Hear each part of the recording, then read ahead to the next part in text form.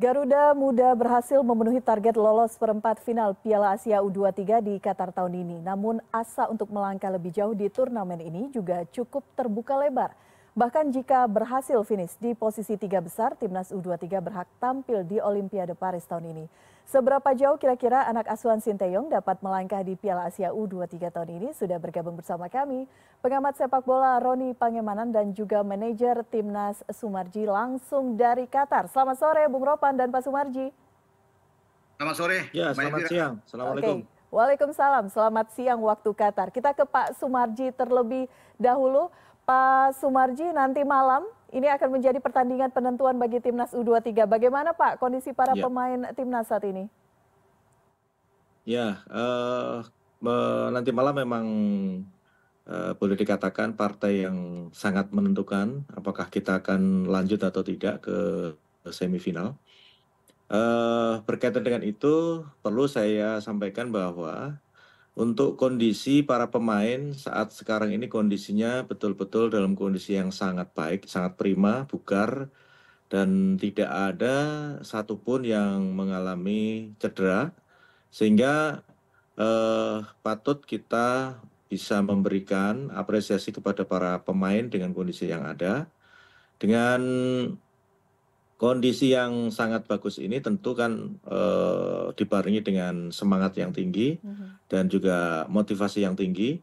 Terlebih dengan kondisi ini, uh, Coach Sintayong sudah uh, memberikan taktik yang sangat uh, apa namanya sangat baik ya berkaitan dengan pertandingan nanti karena kan tentu ini dibarengi dengan dengan pengalaman yang sudah dimiliki oleh Coach Sintayong sendiri ketika Coach membawa timnas Korea, tentu itu kan tidak akan beda jauh ya. Uh-huh. Nah, uh, dengan kondisi itu kami yakini bahwa kondisi timnas uh, saat sekarang ini uh, memang betul-betul uh, dengan motiv motivasi yang sangat tinggi, keinginan yang sangat tinggi, karena memang kami sepakat dan kami mempunyai sama-sama uh, keinginan yang kuat untuk bisa lolos uh, ke babak delapan besar menuju ke semifinal. Karena memang tujuan uh, kami adalah itu yang utama. Mm -hmm. Seperti itu.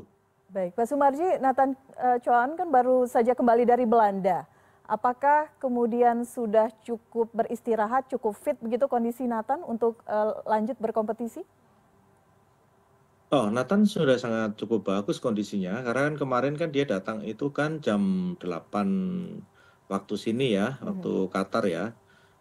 Uh, istirahat cukup uh, cukup bagus dua hari istirahat dan kondisi tadi pagi kondisinya Nathan juga uh, benar-benar cukup bagus sempat tadi pagi kita apa ngobrol sebentar uh, dengan kondisi Nathan yang uh, cukup bagus dan semuanya semuanya cukup bagus Nah tentu ini kan membawa ini ya, uh, membawa aura tersendiri gitu. Mm -hmm. Yang pasti uh, saya meyakini bahwa untuk game nanti itu pasti akan tampil all out, uh, mati-matian, habis-habisan. Mm -hmm. Dan karena yang kembali lagi yang semangat yang kita uh, angkat adalah ingin uh, bisa ke semifinal mm-hmm. seperti itu. Oke, okay. targetnya semakin terus ditingkatkan gitu ya, Pak Sumardi. Sekarang kita yeah. ke Bung Ropan. Bung Ropan, uh, Coach STY yeah. kan uh, dini hari nanti akan melawan negaranya sendiri di Korea Selatan. Bagaimana peluang timnas kita sendiri? Seberapa berbahayanya Korea Selatan di turnamen untuk tahun ini? Kalau dengan tim nasional kita, tentunya Korea akan berpikir sekarang. Mereka menyaksikan pertandingan kita melawan Australia mm -hmm. dan melawan Jordania sulit mengalahkan Australia, sulit mengalahkan Jordania, apalagi dengan skor yang gede ya, 4 gol lawan Jordania. Jadi berhitung. Makanya Hang Son Hong ini, pelatih mereka, itu datang ke stadion mengintip langsung Indonesia main melawan Jordania. Karena dia tahu bahwa ini tidak boleh main-main. Uh-huh. Makanya dia juga di press conference, pelatih Korea itu bilang bahwa mereka tidak akan meremehkan Indonesia. Tidak akan memandang sebelah mata, ini bahaya Indonesia. Kalau Jordania mereka kalahkan dengan telak dan Australia, ya pasti mungkin tidak mungkin juga Korea bisa uh, bisa mereka kalahkan mm-hmm. ya jadi jadi itu saya pikir masuk di akal apa yang dikatakan oleh pelatih Korea. Nah Sintayong menghadapi negaranya tentunya dia akan profesionalis ya. Dia akan sangat uh, profesional di sini dan dia akan berusaha bisa-bisa untuk bisa meracik sebuah strategi taktik melawan Korea untuk mendapatkan hasil yang baik. Yang kita harapkan adalah kemenangan Mhm. melawan Korea. Dengan skor berapapun yang penting kita temanya menang melawan Korea sehingga kita ada di semifinal dan mengintip salah satu tiket menuju ke Paris ya Olimpiade musim eh, panas yang akan datang. Gitu Mhm. Mbak. Oke, eh, saya juga ingin tanya mengenai Nathan sendiri karena eh, sampai di lobi begitu ya, sampai akhirnya bisa bergabung lagi dengan timnas dan akhirnya nanti bisa memperkuat skuad kita. Seberapa penting kemudian eh, posisi Nathan ini dalam eh, peran ataupun pertandingan melawan Korea Selatan? Dalam sepak bola itu lini tengah itu adalah lini yang paling krusial, Mhm. paling vital. Nathan bermain sangat baik terutama menghadapi Yordania. Bahu membahu dengan Ivar Yener. Itu yang menjadi kunci buat kita sehingga membuat pemain-pemain Yordania agak stres, frustrasi ketika mereka sulit mengimbangi lini tengah kita. Dia sebagai pemain box to box. Jadi jika dia tidak bermain memang ada pengaruhnya. Walaupun kita juga punya gelandang-gelandang yang baik juga. Bisa ditarik Marcelino bisa ditarik ke tengah dengan Ivar bisa bermain. Mhm. Tapi lebih bagus kalau ada Nathan. Ini ini petarung yang luar biasa. Berlari terus di lapangan, mampu melakukan pressing juga terhadap lawan. Kita butuh pemain seperti dia Mhm. dan kedatangannya tentunya akan memompa semangat bagi anak-anak yang lain untuk bertarung all out, bertarung habis-habisan melawan Korea. Oke. Dan ini cocok. Gaya Nathan dan gaya Ivar itu cocok untuk bisa menghadapi gaya Spartan dari Korea Selatan juga yang mengandalkan fisik. Nah, itu yang paling enak nih. Kita akan saksikan bersama-sama. Oke, ini akan Ya, menjadi- karena Korea Mhm. Iya, karena Korea Mbak itu kalau lihat dia akan eh, bermain dengan 4-2-3-1 sama seperti mereka mengalahkan Uni Emirat Arab dan mengalahkan Cina. Tidak akan mungkin mereka bermain dengan 3-4-3 seperti melawan Jepang, ya, seperti pola kita. Karena melawan Jepang kan itu anggap tidak dihitung karena banyak pemain cadangan yang mereka mainkan. Yang betul-betul dihitung adalah lawan Cina saat mereka menang 2-0 dan lawan Uni Emirat Arab. Mhm. Pola ini enak nih dihadapi oleh pola kita dengan Sintayong pasti lebih tahu.